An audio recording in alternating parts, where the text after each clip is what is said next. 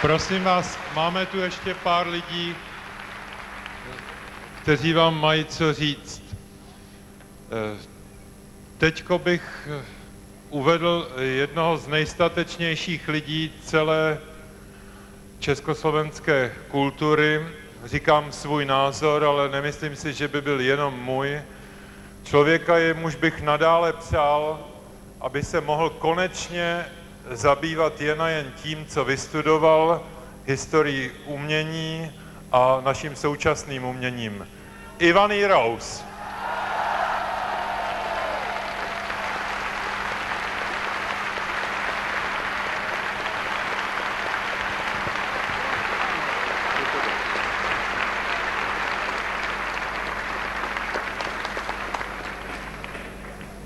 Koncert je nabitý a já jsem showman, takže to zkrátím na nejmenší míru. Chci vám všem, jak tady sedíte, poděkovat, vy víte zač. Na té stuze na klobouku je napsáno, i, eh, pardon, ten, kdo miluje svou vlast, není zločinec. A ještě vám řeknu,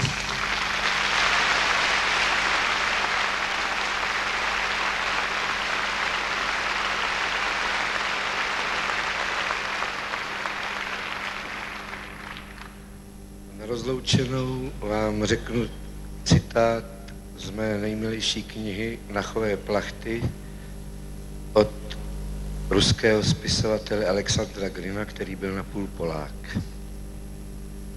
Je-li pro člověka hlavní věcí, aby získal drahocený pětník, je snadné dát mu tento pětník. Ale jestliže jeho duše v sobě tají semeno ohnivé rostliny, zázraku, udělej mu tento zázrak, je-li ti to možné. Nová duše bude u něho a novou duši budeš mít také ty. Až ředitel věznice sám propustí vězně, až miliardář věnuje písařovi operetní kurvu a hoď vzdornou pokladnu, až jockey třeba si jen jednou trošku zadrží svého koně kvůli jinému koni, který nemá štěstí, pak všichni pochopí, jak je to úžasné, jak nevýslovně zázračné. Ale jsou i jiné, nemenší divy. Úsměv, veselí, odpuštění a včas vyslovené potřebné slovo. Mít v moci toto znamená mít v moci všechno.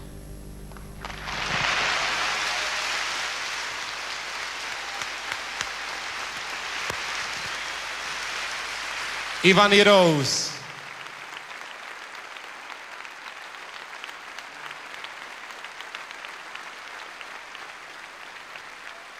A to se mu říká Magor.